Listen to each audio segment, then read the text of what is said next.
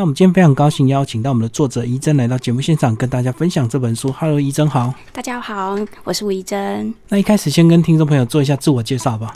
呃，我现在目前是在新溪心理咨商所里面担任咨商心理师。那在担任咨商心理师之前，其实我有一段时间是在担任呃跟社工有关的工作，所以其实也有一阵子其实是呃做类似社工相关的工作，所以接触到非常多的不同的人事物这样。那这样子，社工的这种经验应该对你心理智商往后是非常有帮助，对不对？因为接触的范围更广泛。对，那时候其实我做的社工的工作，它其实比较像是一个推广的工作，就是让大家认识精神障碍者是什么。所以那时候就会看到许多人因为很多生活上的压力，可能慢慢不知不觉。发病了，然后可能渐渐的失去了一些功能。但我成为智商心理师，某一个部分也是因为，呃，在那时候当社工的时候，我就觉得哇，假如这些孩子或者这些人在小时候有人可以陪伴他，或者是陪他走过这些痛苦的时刻，或许他们嗯，可以在很多时候提早接受很多人的支持跟协助。嗯，所以如果他们比较早被关注的话，是不是他们在往后就比较不会变成发病到这么严重这样子？呃，我觉得这个其实牵扯到很多部分呢。我觉得有时候吼发病，当然一部分我们当然是希望他在受到压力的时候，有人可以支持他、陪伴他、理解他到底发生了什么事情。但另外一方面，假如真的你的症状已经出现了，可是你却没有适当的医疗协助跟介入，有时候我也看到蛮多的个案，因为没有担心吃药会。上瘾，或者是担心吃药会不会吃一辈子，然后就擅自中断了药物，反而让他们没有办法在，就是后续他们发病就会发病的更严重。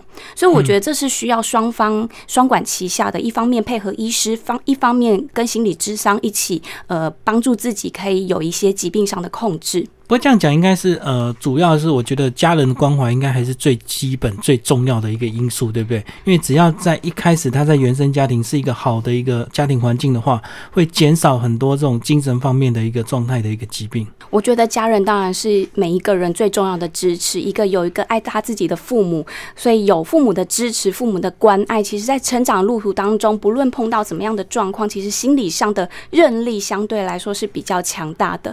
但是我也的确也。见过啦，就是有一些人明明爸爸妈妈都是很棒的爸妈，可是他还是发病了，所以未必真的都是父母造成的。有时候每一个人的特质可能有一些潜藏的基因，也影响到他可能后续会发病的可能性。那父母亲相信就会更加的无奈以及无力，对不对？就是他已经提供这么良好的一个家庭环境，可是小孩却遇到这个，也许是真的就是先天的一个因素。是，我觉得当然我们会习惯就是先检讨爸妈了，可是我觉得爸妈也蛮无辜的，就是有时候他们也有些爸妈真的是也蛮尽心尽力的，可是或许他们自己在自己的成长经验当中也没有受到一个很好被照顾的经验，所以他可能也觉得这样当爸妈很合理呀，所以未必是爸妈故意要去害。小孩，而是他可能还不知道怎么样是对孩子好，或者是对自己的教养方面比较可以呃协助到孩子。好，那接下来我们就来谈谈书的一些内容。好，那这本书的范围好像这个个案都是比较广泛，并没有针对某一个族群去写，对不对？对，我就是以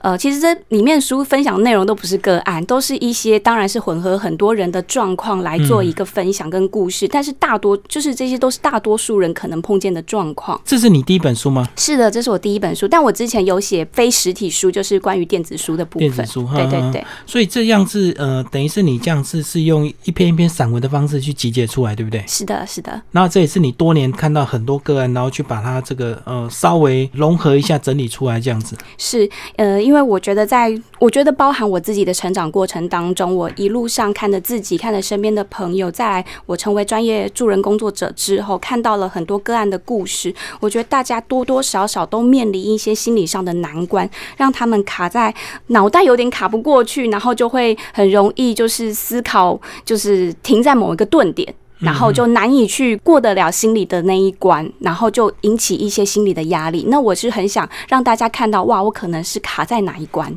好，那这本书呢，分为四个章节，是先稍微把我们这个架构稍微呃，你以你这个分类的方式稍微跟我们呃介绍一下，好不好？嗯哼哼哼，呃，其实我觉得在爱自己这一块，可能是我们呃很多时候很多人都会说我们要爱自己，对。可是很多人也会问我说，到底要怎么爱自己？我觉得爱自己真的是一个非常难的功课。我教你怎么爱，不等于你就会爱了，而是我发现是我们生活上很多的我们的价值观，我们可能被教育的价值观，我们既有的一些概念，或者是我们认为应该是这样的想法，让我们对于很多事情我们看不过去。所以我自己就会从很多部分，包含我怎么看我自己，还有我跟家人的互动相处怎么影响，我觉得应该要怎么样，以及在婚姻里面、感情里面，然后。最后一章其实就是教大家用一些方法开始找到尊重自己、爱自己的一个方式。讲到这种心理书，很多人如果说去找这本书来读，或者是买这本书来看的时候，他们都会很期待去找到他类似的一个状况，然后直接找到具体建议的一个方式，对不对？是，但是通常都。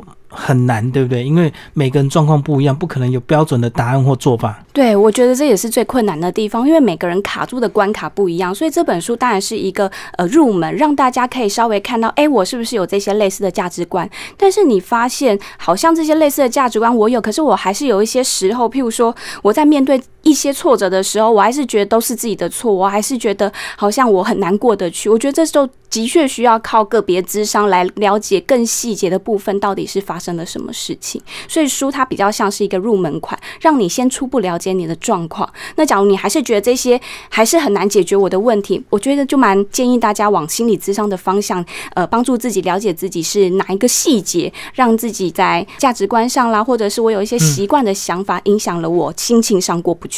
可是谈到这个真的实际走入心理智商室去进行智商，有些人还是走。不进去，对不对？他会觉得走进去好像就感觉承认自己真的有病这样子。对，我觉得这真的是长久以来大家都会觉得好像进心理智商室是一件很奇怪的事，或者是很有病的事情。可是我自己也是花了许久，因为我自己其实也有心理智商的经验，就是被别人心理智商，就是在年更年轻的时候。我现在也持续在心理智商，对我觉得它像是一个自我照顾的一个过程。所以当然一开始，我觉得当然长一辈的人会还是会觉得。那像是有病才会做的事情，可是对我来说，我觉得它比较像是说，哎，我突然发现我最近心情有一个难关，可是我不知道我发生什么事情，然后我就是觉得卡卡的、怪怪的。我觉得心理智商是帮助我们去理解到底，哎，到底是哪一个环节出了错，可能是我没有发现的一些想法潜藏在我自己的情绪里面，而智商就是帮助你发现这些潜藏的想法，跟你有病没有病完全没关系。嗯，因为其实我们看国外电影很自然，这个每次看到这个夫妻吵架很。自然，他们两个就会去看心理咨商师，甚至这个老公老婆都一定要去，一定要配合这样子，然后跟心理商谈一谈。可在台湾，可能好像这部分大家还是比较落后的一个状态，对不对？对这样的一个心理智商。我得说，就是这五年来，其实心理智商的蓬勃发展越来越，就是大家的接受度越来越高，大家越来越不会抱着说我是有病才来，嗯，而是真的觉得说，我我真的是有一些情绪过不了，我反而蛮建议大家真的就是不要拖到就是已经受不了了，然后或者是已经发病到其实难以控制了。我觉得那时候有时候我们就会觉得我们很想救你，可是你的状况真的还蛮严重的，需要长时间，对。反而是我觉得有一点状况，然后你发现有卡住，找朋友聊聊不出个所以然，那就可以考虑呃跟心理智商师约个谈一谈，未必你一定要长时间啊，可能约个两次三次，你说不定你的困扰就已经有一点缓解，跟了解自己发生了什么事。嗯嗯，那就你这么多年的这种呃心理智商的一个个案跟经验，这样子来分享，包括呃你在书中写的一些例子，呃，是不是现代人比较大部分的一个问题都是在情感的部分，对不对？不管是亲情、友情或爱情这部分。其实是我们现在比较难以处理的。我反而是看到是在各个关系里面，大家或多或少都有一些困难。有时候反而是自己一个人的时候，感觉好像还好。可是，在很多的关系里，当然就是你说的那些情感的部分，对，也包含是跟自己的关系。我怎么样看待我自己？我怎么样理解我自己？所以那些关系会进一步让我们去思考我们跟自己的关系。譬如说，我是一个怎么样的人？我到底是不是够好啦？我是不是真的是一定要做到？什么事情我才会有价值？我觉得这些都影响着我们怎么看待我自己，所以我觉得那些关系都回归到一个最终点，就是我怎么样跟我自己相处，我怎么跟我自己互动，我怎么样认定我是一个怎么样的人。跟自己的关系反而是最重要的。是，其实你跟自己的关系建立的好，你你可以相信自己是呃，就是我觉得每个人一定有缺点有优点，可是我们好像很习惯把自己认定是我们要把自己变成一个没有弱点、没有缺点的人。所以那时候你就会在很多的关系里，你就会觉得说啊，一旦他告诉我哪边做错了，哪边不够好，我们自己心里就会有一个结打不开，觉得好像是我的错。可是其实你又会感觉到，可是我又有我自己的状况啊，我不是像你说的那样，我非常不能理解你这样子说。所以在那个冲突矛盾底下，其实某部分是反映我们对于自己的信任感没有这么的足够，所以所以反而在面对很多别人的质疑或者是别人不合理的对待，你都会觉得好像是我的感觉出了错，而不是我可以去争取一个属于我喜欢的关系的互动。所以在这本书里，你也举了你个人的例子，对不对？是，对，就是你的脚那边是有红色的这个胎记还是什么？对，呃，其实它好像是胎记，又很像。但我因为我自己的那个舅妈是皮肤科医生，她看了看就觉得，嗯，好像是胎记，又好像不是。她就说，反正不会痒就不用管它。所以我其实也不知道它是什么。但是的确，那个就是一个从小到大都跟着我，然后每逢人都会问我的一个脚的一个状况，因为它就真的是蛮明显的。是对，然后反而可能是我自己出线条，我真的觉得它一点都不明显。所以从小到大，有人问我，真的都觉得说啊，你们太太那个刁钻了吧？我觉得我的脚两边一样啊，只有你们才会觉得两边不一样，所以我反而没有受到这个困扰太多。所以这个就是你刚刚讲的这个跟自己的关系。如果你很清楚知道你的自信或者是你的魅力来自于哪里，并不是在这个外表或者是在脚的这个部分。当别人越问的时候，你并不会被影响，对不对？哎，说实话，我还蛮喜欢我的脚的，因为但是我喜欢脚不是说它有颜色，而是我觉得哎。我妈其实还蛮善待我的，帮我生了一就是一双就是腿还蛮长的，所以我觉得其实我很喜欢我的腿。可是我不会因为我的腿上有这一些红色的很大片的一个红斑，就觉得说我的腿因此不美了。我反而是觉得说，哎，我一样照常该露的时候露，然后穿长裙的时候我也觉得很棒。我不会因此而觉得。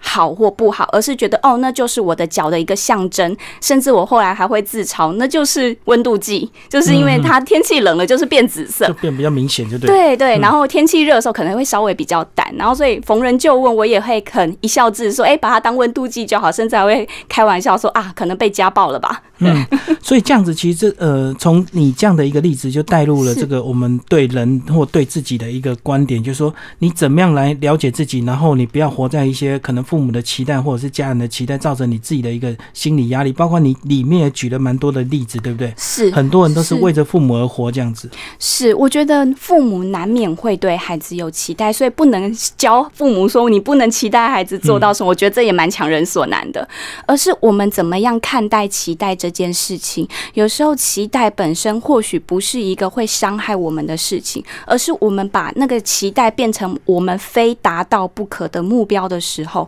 它。就会变成我们另外一股压力。我们不会想说，哎，那个期待跟我的期待符不符合？哎，可能那个期待跟我的期待不符合的时候，我怎么样跟父母沟通？而不是父母觉得，或者是别人觉得你应该要做到什么，我就要尽全力的讨好他，满足他，来让自己感觉好像可以获得他们的肯定啦，获得掌声。我觉得有时候我们迷失在这些肯定里面的时候，我们就会忘了自己的期待，忘了自己原本的样子，变成仰赖，就会上瘾，被那个。肯定上瘾，就觉对那个掌声上瘾是别人没有给你掌声，你会觉得哎，他是没给我肯定嘛？哎，或许别人只是觉得心里觉得你做的不错啊，忘了给你掌声，你就会觉得好像我失去了掌声就没有了肯定。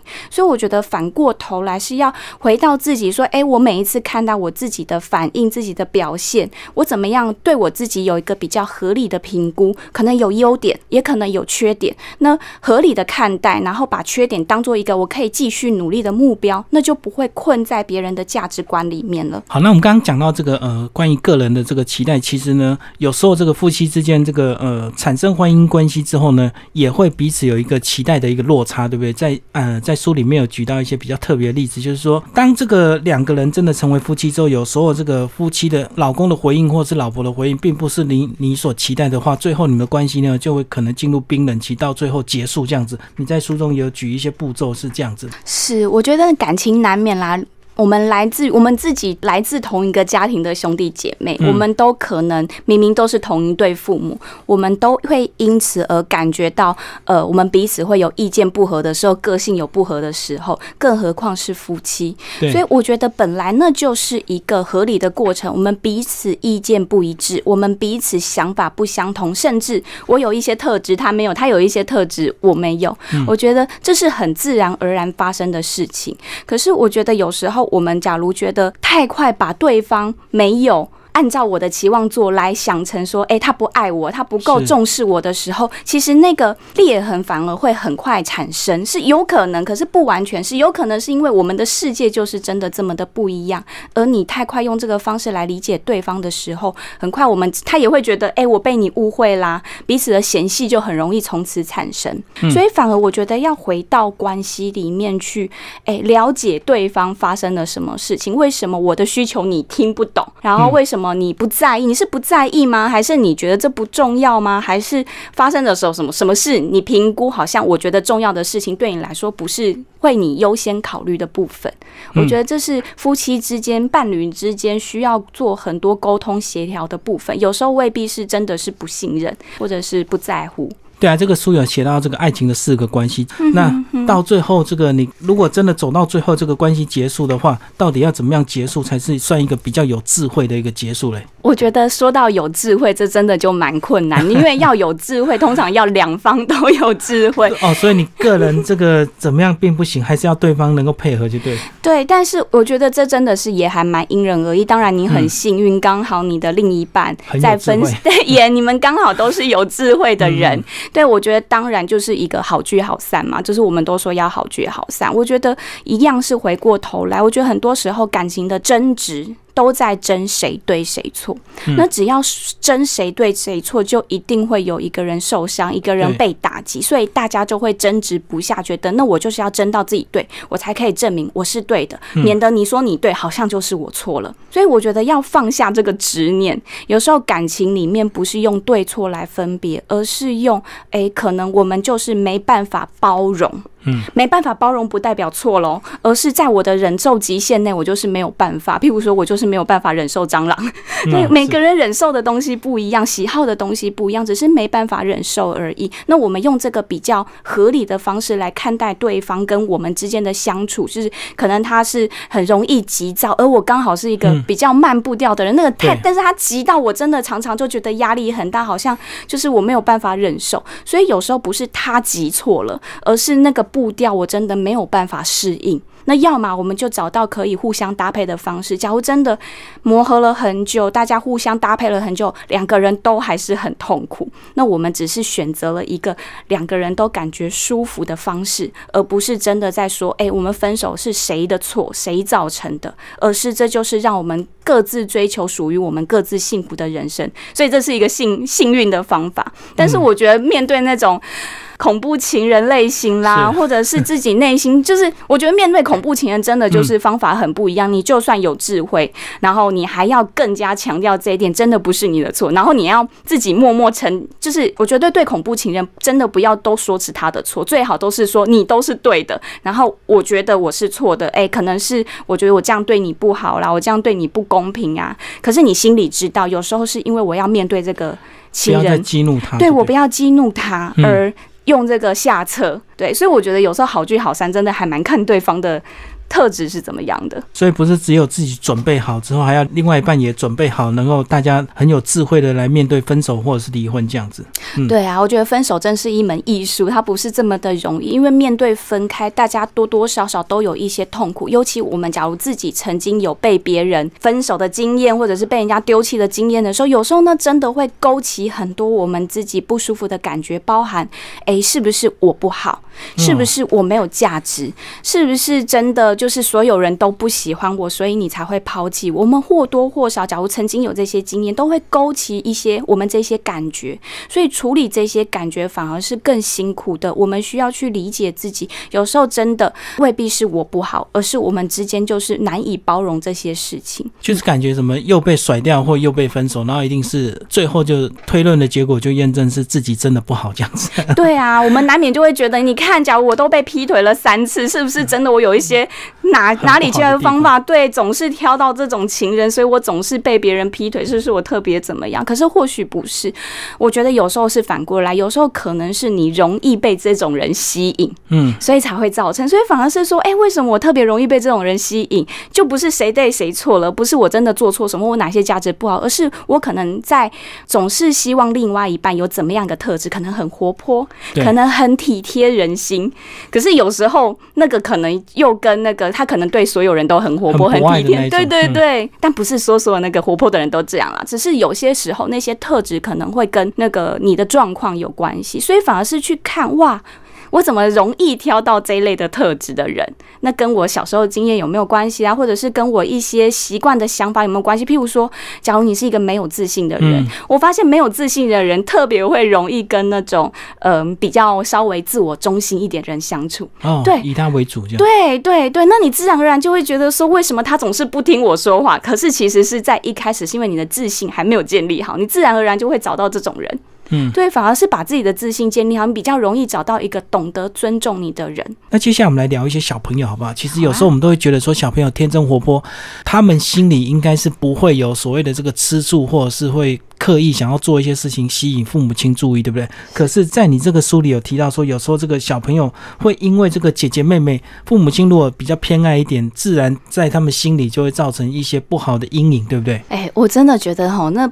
不是说到几岁才开始，小朋友从出生那一刻开始，其实只要有兄弟姐妹，他就有开始这种争取父母的爱的一些本能。我会说他是本能，是他本来就会发生的。就是我其实一方面带了很多的那种亲子团体啊，包含是教导父母怎么样教小孩，很多爸妈的困扰都是，我都已经很努力的公平了，可是两个小孩岁数就不一样啊。然后有时候他们会还是会反映说，爸妈是不是不公平？偏心就对。对。可是我会说，这真的不是父母的错。有时候真的孩子天生，他们就是为了要争取父母的注意，这是小孩为了生存下来需要的本能，要足够的照顾他才活得下来。所以就是所有的动物都有这样的本能，就是 争取生存。对，争取生存，争争取营养，争取注意，争取照顾，这是非常重要的一些本能。否则他怎么可以确保他可以受到足够的照顾？所以当然兄弟姐妹就会变成他们呃一个。争宠的一个对象，竞争对象，对对对对，所以竞争他们会竞争是一件很合理的事情，所以我们才会有一些不同的排序排行序，他们就会有一些不同的特质。所以像老大一开始找出来的时候，他就真的没有需要争宠。就是爸妈都是以他为中心，甚至爸妈在生第一个小孩，通常都还蛮小心翼翼的，都会很认真养。对啊，还会翻书，买很多书看看，就是搜寻很多的资讯。然后第二个就照猪养了，这样。对对，第一个照书养，父母给予很多的关注，然后。对什么事情都小心翼翼，老大会感觉到真的就是受到所有的宠爱跟注意力，又是第一个小孩，嗯，哎，可是第二个出生就是他感觉那个爱被夺走的开始，从一开始原本是那个呃都关注我要分给弟妹，所以老大的那个吃醋就会很快的出现，就会对有些小孩真的就突然不用包尿布，就会说我也要包尿布，嗯。他原本已经开始可以吃米饭吃粥，他说我也要喝奶奶，所以他们有些。小孩甚至就还会躲到自己弟弟妹妹的那个摇床里面，说我要躺在这。嗯，对，睡婴儿床。对，因为他们好渴望父母的照顾，变得他们好像就退化成小朋友。明明他长大了，可是他就会退化的小朋友，父母就会觉得怎么会这样？可是其实这都还算是蛮正常的一些反应。但是我们假如自己身为小孩，我们可能小时候也是经历这样子的感受，因为像我自己也是兄弟，我是一个姐姐一个弟弟。小时候我也是觉得，哎，其实我出生真的没有什么手足竞争的感觉。可是我弟弟出生之后，我自己就有那种真的啊，我的爱又被分走了一块的那种感觉，爸妈的注意力啊。时间都去照顾弟弟，尤其弟弟刚出生，妈妈都在照顾他。对啊，对啊。所以那种感觉其实是被分走的感觉很明显，而被分走或担心的不是被分走，而是担心，哎，会不会对我的照顾就没有了？减少或没有？对对。所以对小孩来说，当然他本身，我觉得我们身为小孩，可能都或许都有这种感觉。对于父母有没有对我们公平，有时候在乎的是我会不会被放弃，会不会被丢下？你不在乎我，是不是觉得我不重要？所以这。这些都是因为我们内心很害怕失去父母的重视。如果是这样的一个状况呢，可能等你年纪大一点，你就稍微会比较释怀了，就比较不会那么呃渴望被父母亲这个每天抱着你啊，或者是怎么样。可是真的有一种状况是真的，父母亲真正就是比如说重男轻女，是那真正重男轻女，其实有时候对这个女生的这个呃小孩子，他一路从小就是什么都要让弟弟，或什么都要给哥哥，所以造成他会很长期的一个阴影，对不对？甚至家庭状况有时候这个好的东西都留给男生，然后女生反而要去。外面工作或者是要负担的更多，是我觉得，假如你从小是这种重男轻女的环境长大，我觉得有两种人，他们会活出不同的人生。一种人觉得，对我是不是真的这么不重要，所以父母才会觉得哥哥跟弟弟比较重要，然后我要什么好像都不能获得。对，一个是你同意了爸妈的想法，好像真的也觉得我不重要，就认命了。对，认命，他认命也不是认命，他也会不公平，也会觉得说为什么爸妈都。这样可能还会在外面抱怨。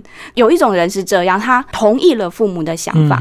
对，有一种人是，哎，你凭什么这样对我？你凭什么这样看我？所以我就决定活出我自己的一片天。你要这样，你觉得我不重要，可是我觉得我很重要啊。所以我去，我证明我自己，我有能力，我证明我自己是一个重要的人。对，所以或许父母可能都重男轻女，可是每一个人会用不同的方式去应应。而我觉得，呃，我们怎么样看待？有时候，假如你真的是那个重男轻女下的。一个女生，对，有时候我觉得是需要看见我是不是真的同意了父母的想法，让我也觉得自己不重要。诶，可是那是父母的想法呀，我真的这么不重要吗？我真的要需要同意父母这样子对待我的方式吗？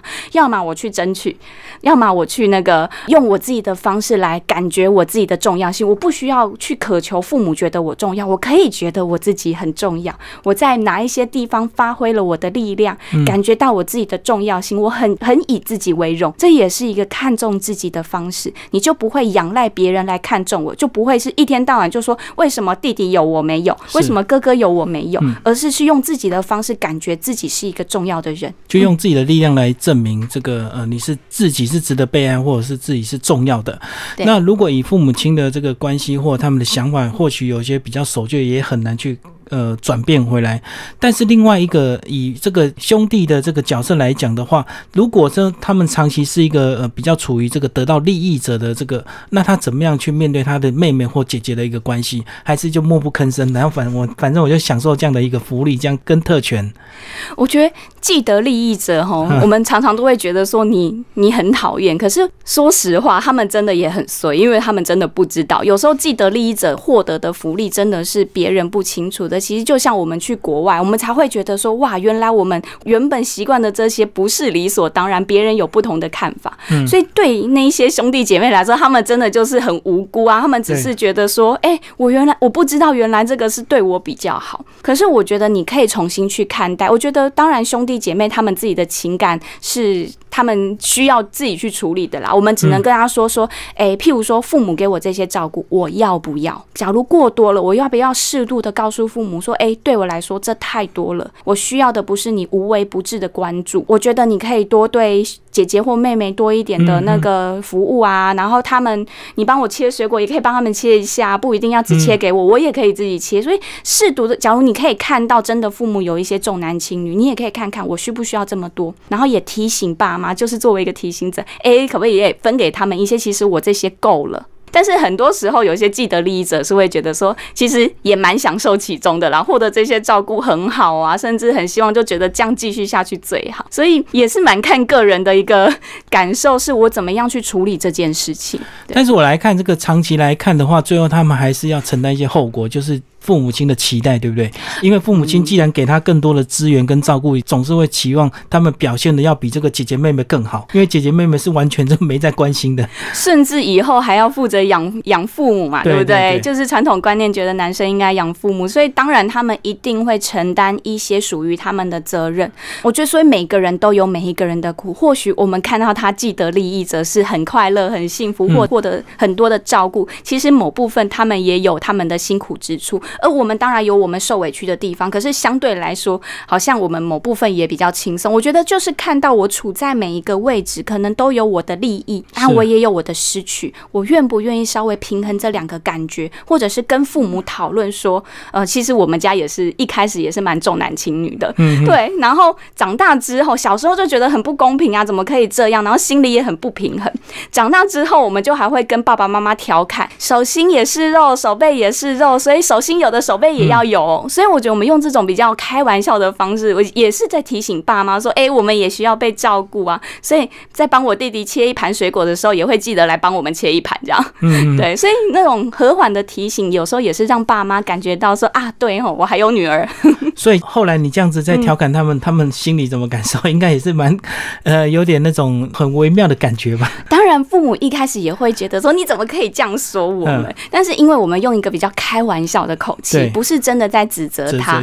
对，我们会说，哎，手心只有一个，手背也只有一个啊，所以也要呵护一下手背，记得涂护手霜这样。嗯，所以他们也感觉到其实就是开玩笑，但是开玩笑他们就比较不会那么认真的看待这件事情，可是会用调整自己稍微一点点的举动这样。所以这本书呢，写了很多例子，也写了很多你个人一些专业的一个建议。那我觉得最后呢，整本书总结是不是就是像书名这样的这句话？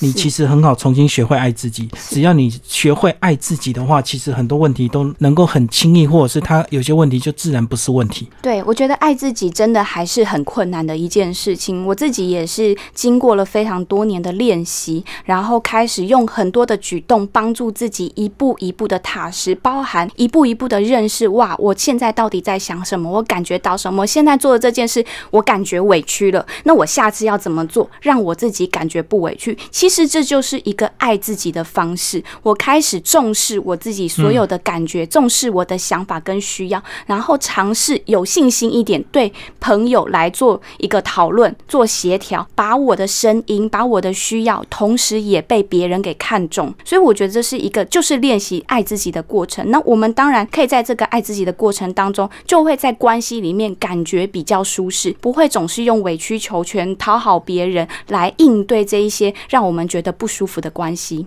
可是讲到这个“爱自己”这三个字啊，到底是指这个精神状态的爱自己，还是这个物质状态？有时候大家会会有点错乱，因为可能比如说你的朋友呢，他很爱吃炸鸡、看电影，然后喝可乐，可是这个对我们来讲，我们会觉得不健康。可是对他来讲，这是他爱自己的一个方式啊。那遇到这样的一个方式，到底我们是用什么样的方式来爱自己？是指精神状态还是物质状态？呃，我觉得呃，你怎么样爱自己，当然都是要用一个合理的标准来看。你假如都觉得永远都觉得爱自己，说永远都觉得自己是对的，别人是错的，那其实是有一点自恋，不叫做你真的爱自己。爱自己是我明白我自己哪部分可以再往前迈进。我哪部分需要调整，而我也知道我哪部分是好的，而我很合理的看待自己所有的部分，不论优点，不论缺点，这才是一个客观上一个合理看自己的方式。所以你可能爱自己，是我今天吃炸鸡，嗯，可是我知道我就一个月就吃这一次，我觉得某部分这是我爱自己一个月就让自己放纵一次的方式，